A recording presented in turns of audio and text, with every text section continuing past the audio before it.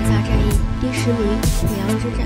濮阳之战是曹操与吕布开展的大战。初平二年，吕布趁曹操出兵在外，联合陈宫、张邈等人反叛，夺取了曹操大本营兖州。曹操得到消息，立刻带兵返回，不仅将吕布赶出兖州，还一路打到吕布的大本营濮阳。双方在此展开大战。刚开始，曹军不敌吕布，曹操差点被火烧身亡，幸好大将典韦赶到，生日大火曹操救出。后来，曹操将计就计，假装自己身亡，命全军挂孝。吕布轻狂大意，不知时机，于是率军追来，结果大败而归。当年秋，蝗灾四起，两军弹尽粮绝，百姓相视，于是暂时休。三年后，曹操重整旗鼓，一举攻破濮阳，吕布只能率领残军投奔徐州刘备。此战之后，东郡兖州尽归曹操，曹操因此实力大增。按照战役规模和战役成果，此战当排第十。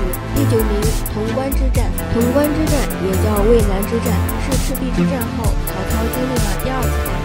此战参战双方分别是曹操和马超、韩遂等人组成的关中联军。赤壁之战，曹操大败于孙柳联盟，于是放弃南下，转而向西方的关中之地出兵。凉州本地的马超、韩遂听闻此讯息，联合关中十余个大小势力，组成关中联军，以此对抗曹操。此战，曹操出兵十万，关中联军总共十万。起初，西凉民风彪悍，大将威武，曹操被打割发弃袍，狼狈不堪。后来，西凉等粮草不济，曹操就趁机草势离间计，与曾有旧交的韩遂大谈往后旧事，还给韩遂写了一封故意涂抹过后的信件，然后故意对马超看见。之后，曹操趁两人互生疑窦之时，主动约定出兵夫妻。此战将关中兵将几乎斩杀殆尽，只有马超等将领败退凉州。从此，曹操在西北再无后顾之忧。潼关之战对于曹操来讲是锦上添花，对于蜀吴来讲并没有太大损失，故而排在第九。第八名，入洛之战。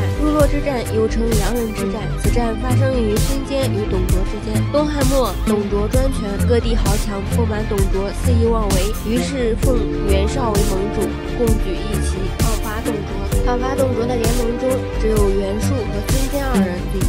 所以董卓对二人最心怀愤恨。初平二年，孙坚转战梁县，被董卓部将徐荣所败。孙坚收集余部，退守阳人。董卓为解决孙坚军威胁，派大将吕布、陈郡太守胡轸率五千步骑围攻阳人。此，胡轸以凉州大人身份指挥全军，吕布仅仅是胡轸的部将，但吕布刚愎自用，不甘于屈居于胡轸，于是他们二人产生冲突，导致董卓五千兵马四万阵脚，孙坚不战而胜。后来，曹董联盟的实力越来越强大，董卓不敌，只能放弃都城洛阳。他走之后，孙坚就领兵入洛，洛阳，所以这场战役又叫入洛之战。这场战役让原本在诸侯中泯然众人的孙坚一跃成为诸侯中炙手可热的人物。孙吴的时代从此拉开帷幕。入洛之战对孙吴的影响巨大，但无论战役规模和参战人数，不及其他大战，综合排名第八。第七名，合肥之战。合肥之战是孙权和曹操之间发生的大战。这场战役从建安十三年一直打到足足延续了四十七年。期间，合肥总共发生了六场冲突，导致城防大坏。最后，东吴被曹魏消灭，合肥才保住安宁。这场战役因为历经时间之长，冲突次数之多，双方兵力结合不好统计，但史书记载孙权兵力倍于曹魏，但因为孙权军队不善陆战，所以并无战绩。建安二十年，孙权趁着曹操和刘备在汉中大战，出兵合肥。为了打下合肥这块水陆枢纽，曾六次带兵攻打，其中五次亲自带兵，结果因为曹军大将英勇善战，孙军不善陆战等原因，无一战绩。但这场战役时间跨度之长，乃是三国仅有，且此次战役对魏吴双方来讲都是得不偿失，排名第七无可非议。第六名，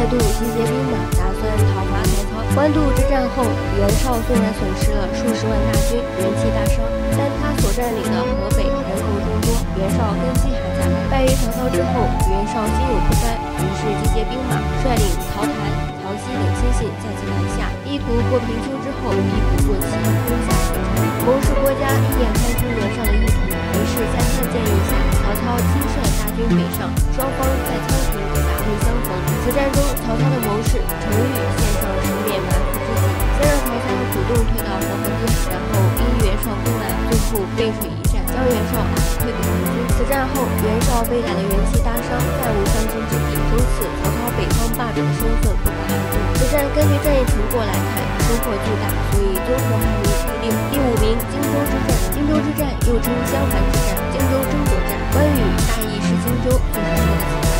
荆州之战是之后第二次魏蜀吴三国大混战。此战蜀汉出兵三万，曹魏五万，东吴不可数。建安二十四年，刘备与曹操在汉中大战，关羽不在汉中，就是奉刘备之命出兵荆州北部的樊城。荆州之战拉开帷幕。当时驻守樊城的是曹操将领刘进，时逢天降连绵大雨，于禁受困于天象，轻易关羽抓获，于是降蜀。曹操大军虽然兵多将广，可既要守在汉中，又要跟吴国争合肥。曹操本欲避其锋芒，后来在司马懿等人的劝说下，决定联吴拒蜀。孙权同意，命吕蒙出兵袭击关羽。关羽不想吴军会突然出手，措手不及，于是只能败走麦城。后来又和其子关平被孙权手下将领马忠斩去头颅，荆州也随之被孙权收入囊中。此战牵扯之深，计谋之险，影响之远，在三国时期屈指可数。此战之后，三国势力的强弱之分逐渐明朗，据此应排第五。第四名，汉中之战。汉中之战是刘备与曹操在赤壁之后发动的最大战役，最后刘备获胜，占领汉中后称汉中王。这是刘备与曹操二者之间发动的最大战争，双方大将云集。刘备一方有张飞、马超、魏延、赵云、黄忠等大将，曹操一方有夏侯渊、曹休、徐晃、郭华等大将。此战刘备倾尽全力，男子当战，女子当御。有人统计，刘备共出兵十余万，曹操居于北方兵，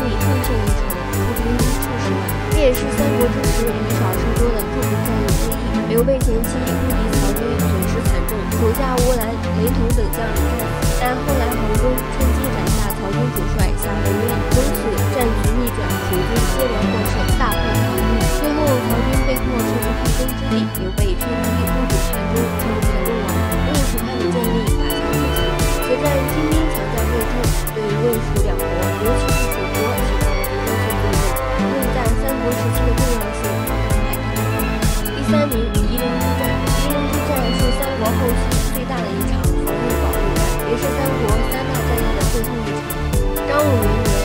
刘备为报关羽死仇，不顾诸葛亮等人的劝阻，执意发兵讨伐东吴。此战蜀国出兵五万，东吴出兵五万，双方兵力势均力敌。但刘备手下武将英勇，一路势如破竹。东吴救和不成，就任命年轻将领陆逊为大都督，出兵抵抗刘备。双方在夷陵之地展开决战，因为蜀军强盛，吴军先是避其锋芒，利用地利优势，将蜀军拖了半年之久。后来蜀军人心不稳，陆逊趁机点燃一把大火，将蜀军烧杀殆尽，蜀军只能望风而逃。此战之后第二年，刘备死于白帝城，从此蜀国的实力大减。赤壁之战后，如日中天的势头不见踪影。夷陵之战后，蜀吴两国元气大伤，魏国稳占上风。根据历史影响来看，排名第三。第二名，官渡之战，三国三大战役之一，汉末最大的诸侯之一袁绍就此败北，诸侯势力重新此战是三国时期，也是中国历史上著名的以少胜多、以弱胜强的典型战事。建安